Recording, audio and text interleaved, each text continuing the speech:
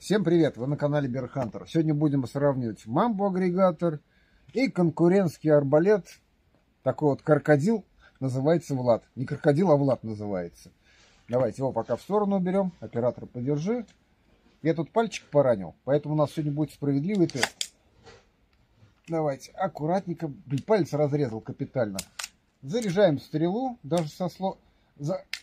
травмированным пальцем. Отгибаем целимся и стреляем. Так, держи, братан, давай этого крокодила сюда. Пальцы аккуратно. Так, теперь этот как заряжать. Ну, давайте сразу из преимуществ из его, что тут есть. Складной, этот, как его зовут, приклад. Так, теперь зарядить. Самое главное, чтобы мне пальцы не прищемить. Нажимаем сюда. И вот когда заряжать будете, самое главное вот сюда вот руку не суньте, а то без пальца вообще останетесь. Палец я порезал, а не этим. Хотя можно этим тоже прищемить так нехило. Так, заряжаем. Ну, в принципе, так. Надо этот прицел включить. Так. Предохранитель снимаем и стреляем. Так, так как снег идет, а палец я не хочу мочить, нельзя его мочить, идемте в помещение обзорчик и сравним, что лучше из этих арбалетов. Ну, честно сказать, дай. Тут даже по внешнему виду видно, что мамба-агрегатор гораздо круче смотрится, чем этот крокодил, правильно? Ну, кивни или помотай. Кивнул. Вот что значит кивни или помотай. Значит, все-таки вот этот вот арбалет лучше, чем вот этот вот ну, крокодил, страшный арбалет. Ладно, пойдем смотреть, какие у них преимущества есть. Туши пока. Давайте сначала зарядим наши арбалеты. Будет все крупным планом показано. Мое лицо тут не важно. Так, начнем с этого. Видите, спокойно открывается магазинчик. Туда закладываются стрелы. Там, не мешаю себе. Оп, раз стрела. Два стрела. Три стрела. Четыре стрела. И пятая стрела. По идее, можно шестую, но лучше не надо. И также легко все двумя пальчиками закрывается. Все, арбалет готов к выстрелу. Теперь это этот крокодил. Чтобы магазин открыть, видно, вот эту вот кнопочку. И вот эту вот кнопочку надо одновременно нажать. Блин. Ладно, у меня... Да... И, по... и... О, все, получилось. Видите? Все, магазин открылся. Ну какой дурак придумал это? Здесь вот, смотрите, двумя пальчиками все открывается. Здесь надо продавить, чтобы открыть это. Ну, блин, ну ё-моё. Все пальцы больно становятся. Так, заряжаем. Раз, два, три, четыре, пять. Пока у меня шесть стрел, но здесь, по-моему, больше может вылезть. Ладно, это преимущество, то, что зарезает сюда больше стрел. Так, ладно, следующее. Стрелы вроде как дротики. Здесь стрелы, видите, длинненькие, классненькие. В, про... в плане проникновения, ну елы-палы, но эти стрелы, мишень видно? Вот эти стрелы в мишень будут заходить, здесь плечи 20-килограммовые стоят. Она прям в 20 килограмм еще не утонет. Но если 40 килограммов здесь плечи будут стоять, все, стрела там утонет, вы ее не достанете. В Берхантере изначально длинная стрела, чтобы можно было пострелять не один раз, а несколько раз. А это утопнет там, и все. И фиг ее достанешь. А если достанешь, он все помнется.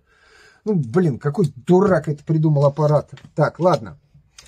С этим вроде все понятно. Видите, все. Одной рукой можно закрыть и все. Этого же крокодила. Все. Аппарат готов к стрельбе. Ужас какой-то. Ну, смотрите. Так, ладно. Мамба-агрегатор на канале Берхантер уже много раз обсуждали. Офигенный арбалетик, поэтому к нему нареканий, честно сказать, никаких вообще нету. Поэтому мы его пока в сторону уберем. У нас все-таки конкурентский арбалет. Повторюсь еще раз, постоянно пишут конкуренты, что вот этот арбалет альтернативный мамбе. Ребята, этот арбалет стоит, стоит 37 тысяч. Этот арбалет, ну правда без приклада и без оптического прицела, стоит 39 тысяч. Ну разница какая? Зачем покупать вот такой крокодил, когда за 2000 побольше взять и можно купить нормальный арбалет? Этот красиво смотрится, этот смотрится как крокодил.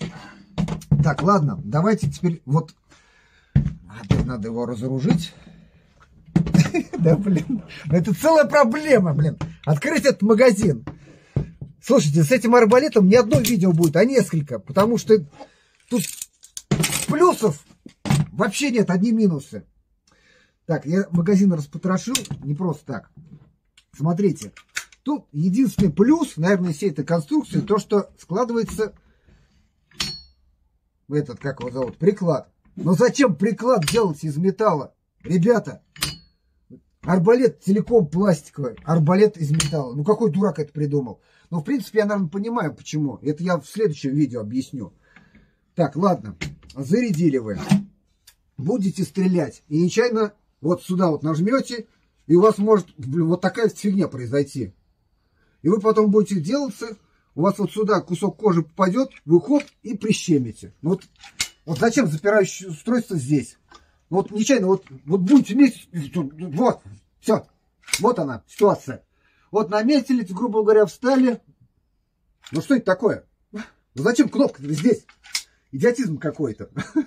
Плюс вот эта вот фигня торчит. Ну понятно, чтобы заряжать. Но ну, железный арбалет, ой, железный приклад, скажу сразу. Здесь 20-килограммовые плечи стоят, в комплекте идут 41 килограмм плечи. Пластиковый, думаю, приклад вот при таком заряжании не справится с 40 килограммами, он просто переломается. Поэтому, наверное, здесь и сделали этот железный приклад. Ух, господи. Ну, думаю, на сегодня, наверное, все. Нервы все измотал с этим. Вот чисто с заряжанием это какой-то кошмар, а? Ребята, будет вторая серия. Да, наверное, и третья, и четвертая, и пятая будет серия. А вы пишите комментарии. Обсуждать конкурентские арбалеты или нет. Но все-таки продукция Берхантера мне... Да мне не кажется, я знаю, что она лучше гораздо, чем вот это вот. Тем более здесь, смотрите, здесь идут вот э, блочный арбалет. А здесь классическая вот эта вот хрень. Кто не подписан, подписываемся, пишем комментарий. Обсуждать или не обсуждать дальше конкурентские арбалеты. Ну, вот такие вот крокодилы. Почему Влад назвали? Взяли бы назвали крокодил. Самое то ему название. Всем пока, до новых встреч.